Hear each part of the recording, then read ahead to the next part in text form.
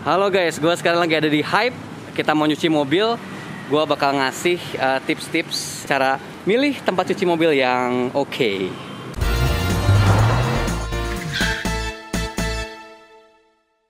Nyuci mobil di tempat pencucian itu kayaknya udah jadi hal umum yang kita lakuin. Walau cuci mobil sendiri itu asik, tetap aja kan kadang-kadang kita nggak ada waktu atau nggak ada tenaga.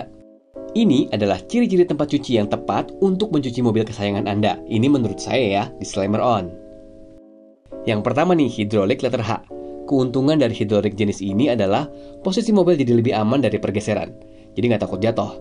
Dan tidak merusak suspensi mobil dan chassis dalam pemakaian jangka lama, seperti kayak yang di letter X. Karena bertumbuh secara penuh pada ban mobil, jadi lebih aman tuh. Dan tentunya buat mobil saya yang udah pakai underbrace dan mobil teman-teman yang udah dipendekin, jadi bakal anti nyangkut nih. Yang kedua, cuci kolong dengan sabun. Di beberapa tempat, bagian kolong ini cuma disemprot aja sama air bertekanan, tapi nggak dikasih sabun. Pastikan tempat cuci kamu bersihin kolongnya dengan baik. Jadi lumayan bikin awet kaki-kaki kalau bebas kotoran dan debu. Yang ketiga, pembersihan velg yang dilakukan dengan seksama. Debu-debu kampas rem itu kan bikin kotor velg dan bener-bener harus dibersihin dengan teliti agar velg dapat kelihatan kinclong lagi.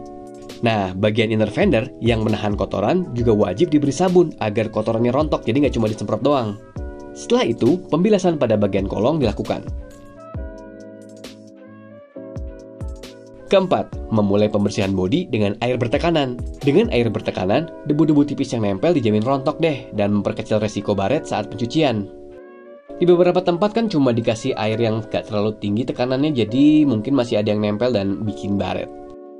Sebelum nanti diberikan sabun yang akan menghilangkan kotoran yang masih membandel. Yang kelima, selalu mulai pembersihan bodi dari bagian atas dengan gerakan searah. Hal ini penting banget nih, kadang-kadang gerakannya itu kan memutar. Jadi bisa bikin swirl mark atau baret yang bentuknya kayak jaring laba-laba. Pasti pernah lihat dong. Begitu juga dengan proses mengeringannya.